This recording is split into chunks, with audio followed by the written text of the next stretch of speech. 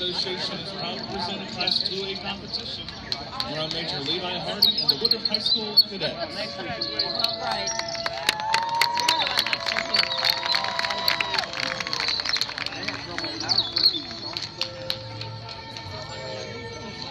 Last year